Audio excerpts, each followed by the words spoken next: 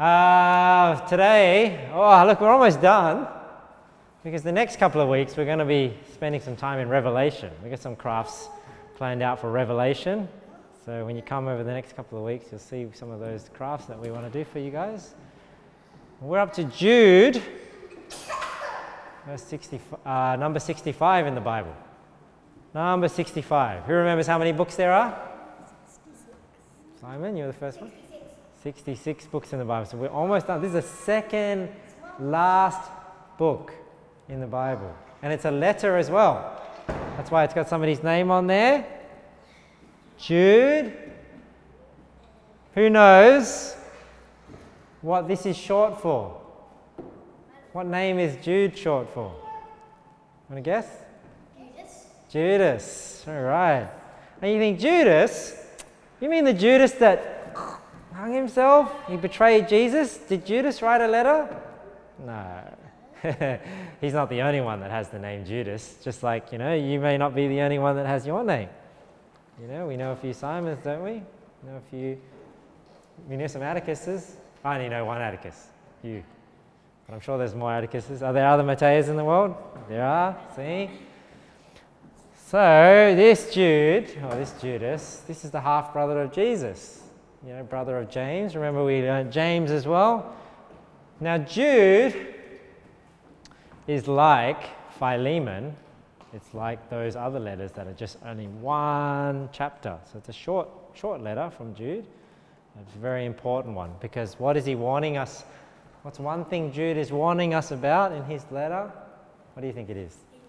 Evil people. Evil people. That just means you can read. evil people. Now, there are evil people out there that want to do nasty things to you. You know, and that's what this book is warning us about. Not only coming in and want to teach us a wrong gospel, you know, tell you that Jesus isn't God or Jesus didn't come in the flesh, Jesus didn't die for your sins. There's people that are trying to convince people of that. That's one way you can be evil. Another way you can be evil is you can do nasty things to the person themselves, you know, to your body and things like that. So I want to warn you about it today so that you know about it because there are people out there and they don't always look evil. Because when you think of an evil person, is this what you think about? You think you think an evil person, he's wearing all black, he's got an evil moustache, he's giggling, he's got evil plans. That's what you think an evil person looks like, right? But you know what the truth is, kids? Not everybody that's evil looks like that. Sometimes people that are evil can be extended family. It can be, you know, maybe an older brother or sister even that is not doing right by the Lord. Or even somebody in church. Somebody that seems nice on the outside, but they got bad intentions on the inside. So sometimes when people are evil, they don't always show it on the outside. That's why you just need to be careful and just uh, notice when things are not seeming right. Okay, so Jesus says that they don't come when somebody comes evil. They don't come in you know in wolf's clothing. Like a wolf doesn't come in wolf's clothing and say, "Here I am, I'm a wolf." Sometimes they come and they they come in sheep's clothing. So they sometimes will pretend to be nice. But then they do things or they say things that are not so nice. So this is why you've got to be aware. Okay, so you don't want to just not trust anybody because, of course, you give people the benefit of the doubt they're nice. And when they start doing things that are evil, you need to be aware. Sometimes when the people want to do evil things, they don't always look like this. They do evil things, but then they pretend to be a nice person. So you have to be very careful about what people do. Okay? So don't just suspect everybody, but when the person that looks nice starts wanting to do things that are bad, that's what you have to be careful of. Look at what the Bible says here in Jude 4. Look, for there are certain men crept in unawares. What does this mean? Unawares means you don't notice them all the time when they creep in, when they come in, you don't know who they are. But look at what they do, who were before of old ordained to this condemnation ungodly men, so we're talking about evil people, right? Turning the grace of our God into lasciviousness. What is this? We're going to talk about this in a moment. And denying the only Lord God and our Lord Jesus Christ. So you see, the person who's going to deny Jesus Christ doesn't always look like this, does he? Sometimes he looks nice, but then he starts making question oh, is the Bible really God's word? Do you know Jesus didn't really do that, didn't really do this? That's when you know, oh, this person is an evil person who's trying to deny what Jesus Christ did for us. So you see, you can ask some questions afterwards, Mateo. So you need to be careful of evil people. They don't always look like this. Keep in mind, it's like Satan. He looks like an angel of light. Did you know that? He transforms himself into an angel of light. So sometimes when we think about Satan, you think about somebody with horns, a red one with a, with a pitchfork. No, that's not what he always looks like. That'll be too obvious because if you saw Satan with a pitchfork, you think, that's Satan, I better stay away from him. But if he transforms himself into an angel of light, maybe you'll get tricked. You see, but you won't get tricked if you had it. Remember what we learned last week? How do you stop yourself from getting tricked? Who knows the answer? Timothy? Sorry? Trusting in Jesus, Trusting in Jesus, that's a good one too. Knowing the truth, that's exactly right. So if you know the truth, you're not going to get tricked. If somebody's going to come and try and lie to you, you're not going to get tricked, even if they don't look like this, even if they look like a nice person. Okay, look at what these people do. Why have I got this picture up here? I want to show you, explain in a moment. Jude 8, look at this. Likewise, also these filthy dreamers defile the flesh, despise dominion, and speak evil of dignities. Now, sometimes these evil people, they're not always trying to teach you lies, but they're trying to do things to you that they shouldn't be doing. Okay, and one thing they try and do is they try and touch you in places that you shouldn't be touched by other people. You know? So, where are some places that people try and touch you that you shouldn't be touched? Well, if you think about this picture here, these are some people that have not all their clothes on, right? This is a cartoon. But what is being covered here? Right, so here you've got your this area covered, this area covered, and same with the girl, back and on the front. And the girl also has her shirt covered as well.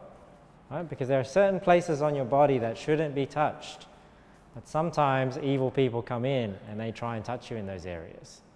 Okay, and what are those areas? The back here, and the front, on the girl the well, as well, and also on the chest for a girl, right? Because girls have breasts and boys don't. So you have to be very aware of people that try and do that. And like I said, you need to remember they don't always look like this. Right? Somebody that's trying to do evil things to you doesn't always look like this. Sometimes there's somebody that you know and they're pretending to be nice, but then they're trying to do naughty things to you. Now, if that ever happens, should you keep it a secret? No. That's something you have to always be careful of as well. If somebody does something to you and they say, shh, don't tell your parents, this is just between us, you have to be very careful of that person. If somebody ever tells you to keep secrets from your parents, you make sure you tell your parents, okay? Because you should never keep secrets from your parents, especially secrets like this. Because evil people do that, don't they? They want to touch you in places you shouldn't be touched.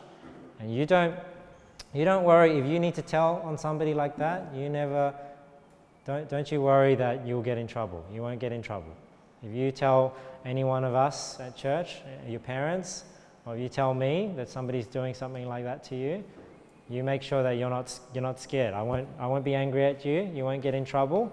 You know what? The person that's doing those things, they're going to get in big trouble. Okay? So we need to look out for one another. If you know somebody that is doing something like that, you don't keep it a secret. Okay? We need to make sure we expose these people. Why? Because they're trying to come in here unnoticed unawares. Not only at church, they're trying to sometimes come in at your school or, you know, around at your family gatherings and things like that. Maybe you got extended family, cousins, things like that that may be doing these things. You don't want to keep this a secret. If they say, don't tell anyone that they're touching you here and there, you make sure you tell somebody. Okay? So I want to warn you about that. These are the sort of people, and Jude, what we're learning about today, that's what one thing Jude is warning us about. Now, how is an evil person going to do this to you? They're not going to do it when everyone's watching, right? If somebody wants to do something evil, do you think they're going to do it uh, where everyone else is? What do you think, Mateo? they're going to try and take you somewhere else, aren't they? And look at what it says here in Jude 19. These be they, look at here, he's trying to get away from the safety of everyone else's eyes, right? Because if you are around everyone else, guess what? You can see what's going on, can't you? But if they want to do something evil, right, to you, Matteo is exactly right. They're going to try and take you off somewhere else. So you need to be aware of these things. Look at this. These be they who separate themselves. What does it mean to separate? It means you get away from everyone else. Sensual.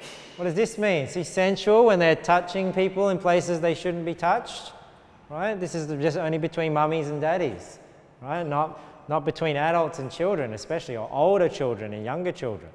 So you've got to remember, it's not always adults that are doing these things. Sometimes it's older children doing it to younger children as well. So you have to be careful. Maybe you know, like a cousin that's like a teenager, and they're doing things they shouldn't be doing as well.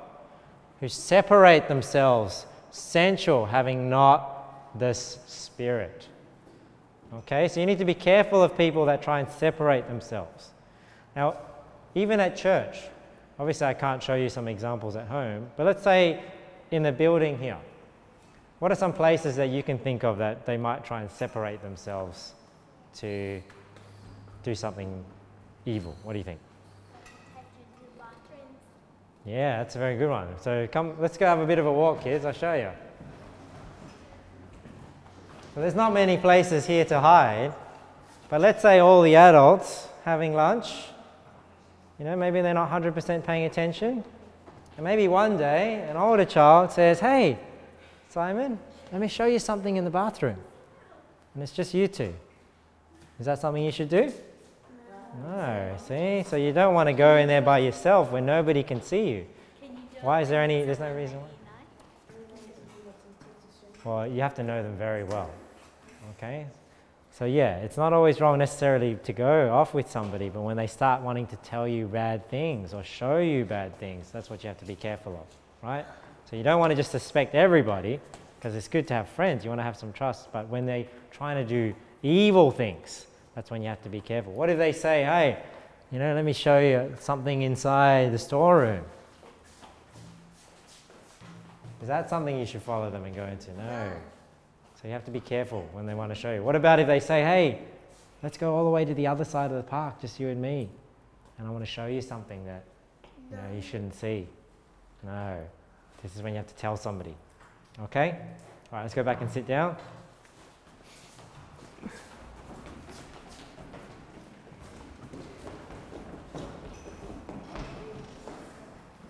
Okay, so anything, anything that needs to be, that can be shown in secret over there, can be shown where everyone else is as well. So you just need to be smart about it. I'm not saying every time somebody takes you somewhere, you know, especially a kid, if you guys go off together, I'm not saying every time it's bad, but it depends what they want to show you, right? If they want to touch you in places that you shouldn't be touched, they want to show you things that you shouldn't see on their body, right? or they're trying to tell you things that they don't want anyone to know, you need to be aware of that, okay?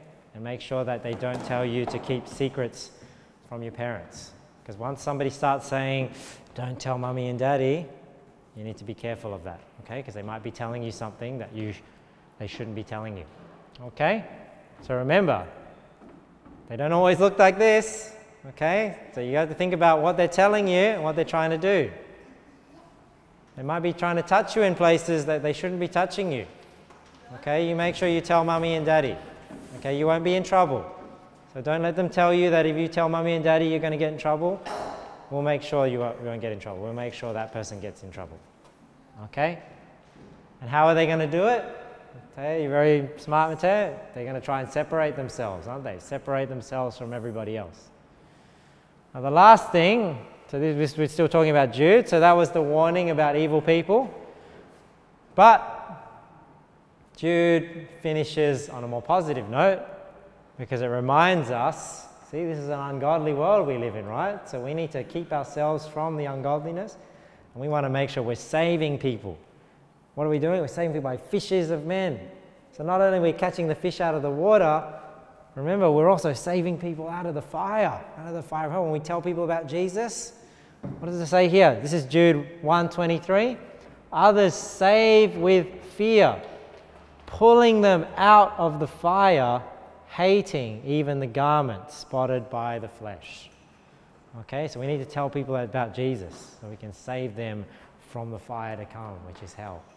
Because you know, if we don't believe on Jesus, there is going to be a punishment, but if we believe on Jesus, Jesus paid the punishment for us.